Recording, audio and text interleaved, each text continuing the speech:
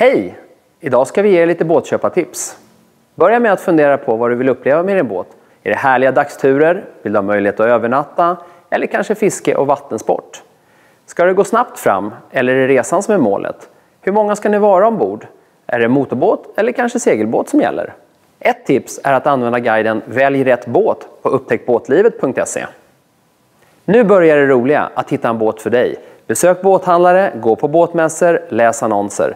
Allt för att skapa sig en uppfattning om utbud och pris. På upptäckbåtlivet.se finner du alla marinhandlare som är anslutna till Sweboat, båtbranschens riksförbund. Vi måste uppfylla en mängd kriterier som medlemmar, vilket borgar för ett bra köp och ett tryggt båtägande.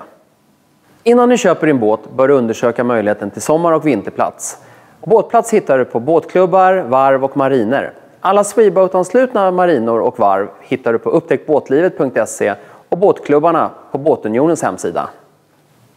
Du kan köpa din båt på lite olika sätt, via en båthandlare, en privatperson eller en båtförmedlare.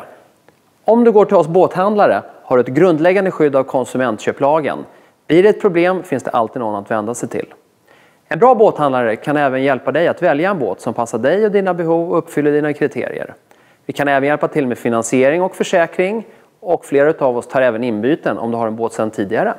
Om du köper en båt av en privatperson, tänk på att undersöka den noggrant och använda ett bra köpekontrakt då du inte omfattas av konsumentköplagen. Ta gärna hjälp av en auktoriserad besiktningsman för att bedöma båtens skick. Ett annat sätt att köpa båt på är att vända sig till en båtförmedlare. Här hittar du privatpersoners båtar som säljs av ett företag.